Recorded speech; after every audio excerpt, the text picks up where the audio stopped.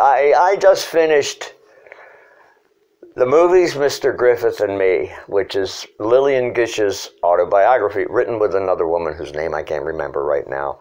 And I can't find the book or I'd show it to you. Anyway, I learned things about filmmaking and about power, and D.W. Griffith was a filmmaker and a powerful filmmaker he was a filmmaker, auteur in the time when filmmakers were, he was considered like Michelangelo or something. He was the cinema artist at the time. And, you know, people like, well, Lillian Gish had been with him from the very beginning. And she was just his soldier. She would do anything. and of course, uh, everybody remembers the scene, well, everybody should remember anyway, the scene in Way Down East when she has been chased out of the house by her husband, by her husband's family, and ends up in the river on the ice floe. Well, they had to wait an ungodly number of weeks for the river to thaw. It didn't thaw. And they had to shoot in a snowstorm.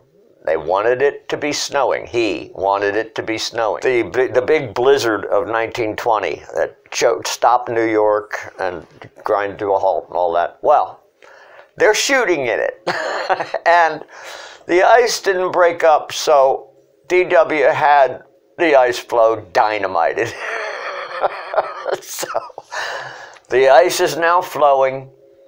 Poor Miss Gish is faced with a scene that is at, at in the very least life threatening because she had to run out, get into the ice, and she said, called it to, uh, to DW, Mr. Griffiths. She didn't call him Dave until almost the very end. she called out, Mr. Griffiths, do you like my arm and my hair trailing in the water? He said, Yeah, do it. By the end of the take, her arm was frozen almost, and her hair was a, a hunk of ice. Well, you got to remember they're shooting and we're shooting in a blizzard. Okay, DW is used to being able to be heard with his megaphone. There were no microphones. there were no amplification systems. This is 1920. There she goes out on the ice, and DW has the actor, Mr. Harron, oh, his name, anyway, waiting for his cue.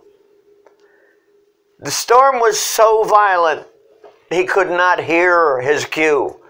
So Lillian was headed for the waterfall on a piece of ice and certain death. Unless this actor had taken upon himself, had not taken it upon himself to jump in to the frozen, swollen river grab Lillian Gish off the ice floe just in time, which is all on camera. But the press was given a completely different story of how that happened because it was a total disaster. And, and it was only saved at the last minute by somebody thinking, oh my God, I can't let her die. and so there you go. That's the that's the story of the waterfall scene in Way Down East.